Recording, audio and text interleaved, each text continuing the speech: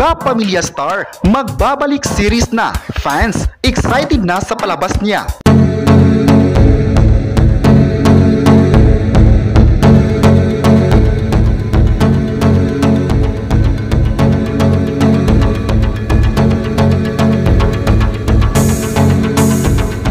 Sa wakas, ipapalabas na ang limited series na The Goodbye Girl sa ABS-CBN platforms. Ito ang pinagbibidahan ni Angelica Panganiban at ito ang kinumpirma ng Dreamscape Entertainment sa pamamagitan ng social media noong Martes.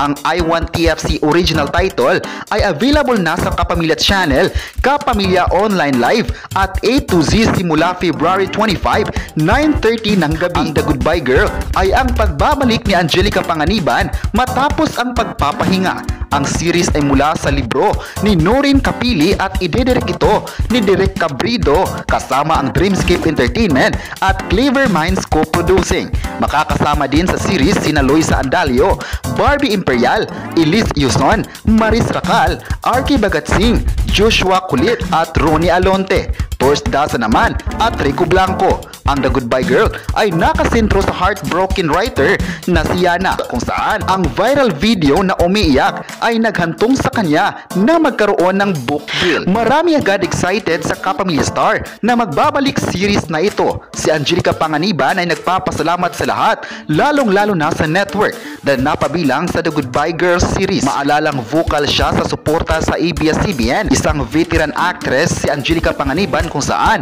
humahataw din siya sa mga karakter na ibinigay sa kanya ng network.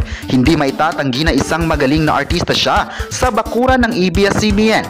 Ayon pa ng netizen, sa pagkakataon nito, umaas silang mabibigyan pa siya ng bagong project kabilang na ang teleseryes na matagal na din siyang hindi napanood. Ayon pa ng netizen, sa balitang aalis na siya sa ABS-CBN, isa itong patunay na nagbalik siya para sa istasyon at para sa kanyang mga viewers. Thankful talaga siya sa tiwala at suporta ng network sa kanya. May netizen naman na nagsabing sana tatangkilikin ito ng mga kapamilya dahil isang malaking series ito ngayong taon. Kahit madami man na nagsabing aalis siya sa ABS-CBN, nabigo ang mga kritiko. May netizen pa nagsabing sana raw susuportahan pa rin siya sa kanyang show business. May netizen pa nagsabing aabangan talaga ito dahil idolo na ito sa Kapamilya Network. Aabangan na lang ang pasabog ng The Goodbye Girl sa ABS-CBN platforms. Matagal din itong pinaghahandaan at sa wakas, masasaksihan na ng mga kapamilya. Ayon pa ng isang netizen, paniguradong trending raw ito kapag ipapalabas na. Kayo, ano ang masabi nyo na ipapalabas na ang The Goodbye Girl sa ABS-CBN platforms? I-comment na kung excited na ba kayo dito at huwag kalimutang i-subscribe ang ating YouTube channel.